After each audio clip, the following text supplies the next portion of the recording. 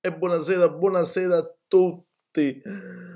È tarda notte, è tarda notte, sono uscito sabato sera, sapete com'è, si fa tardi, sono uscito dopo la partita Parma-Inter, una, una, partita che ci è andata benissimo, amici miei, benissimo, tre punti che valgono sei punti, fino al gol io non mi sentivo nemmeno bene, praticamente mhmm, avevo bisogno di, di, di qualcosa, abbiamo bevuto anche del gin, figuratevi dopo che, che, che non so, che ecco ci voleva, tachipirina, tachipirina, esomeprazolo per lo stomaco, pure questo, mettiamoci questo, mettiamoci quest'altro, che è una farmacia, ma che è una farmacia, cioè insomma praticamente lo stomaco stava a pezzi perché durante il primo tempo abbiamo fatto sempre la solita pena, cioè il solito giro palla, sembrava che nulla fosse cambiato.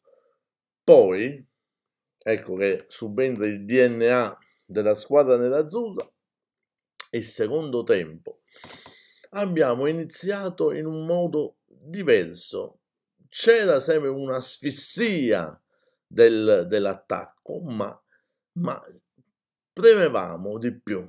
Dopo che Gervigno vabbè, ci aveva graziato il primo tempo con la traversa.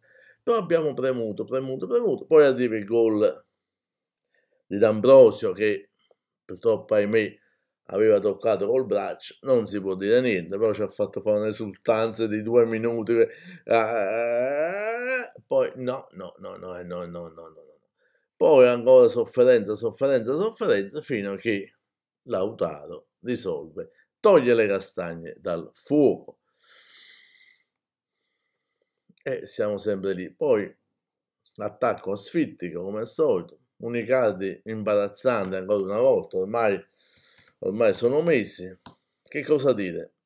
Se vogliamo vedere il bicchiere mezzo pieno, diciamo che nota positiva, devo dire, dopo averlo criticato, io l'ho anche chiamato Nalcolan, invece di Nancolan, Nalcolan, però devo dire, per onestà intellettuale, che questa partita, questa sera, Nangolan è stato il migliore in campo ha tirato, ha lottato su ogni pallone, ha corso, ha dato l'anima e si è meritato la palma del migliore in campo.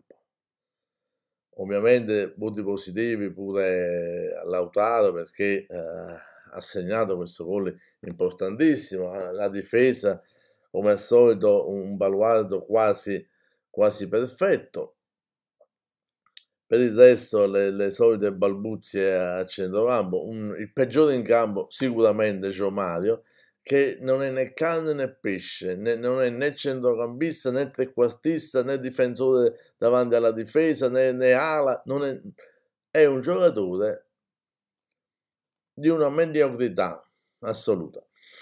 C'è da dire anche Perisic, devo dire la verità anche stasera, nonostante che si intestardita a fare solita finta, solita finta a sinistra che non porta mai a nulla se non a qualche calcio d'angolo, devo dire che però si è dannato e si è dato l'anima. Beh, eh, Spalletti ha salvato la panchina per il momento e, e mi auguro che sia la svolta. Mi auguro che sia la svolta. Punti importantissimi. Lasciateci godere questa vittoria, lasciateci godere questi tre punti, lasciateci godere il nostro terzo posto consolidato per questa giornata. Poi vedremo domani le altre che cosa faranno. Già il Napoli con un po' di sfortuna, devo dire la verità, ha pareggiato, ma con sfortuna, veramente sfortuna. Vedremo la Juve, vedremo il Milan, vedremo l'Atalanta, vedremo le altre, va bene? Quindi a domani e finalmente una gioia, finalmente. Ciao a tutti.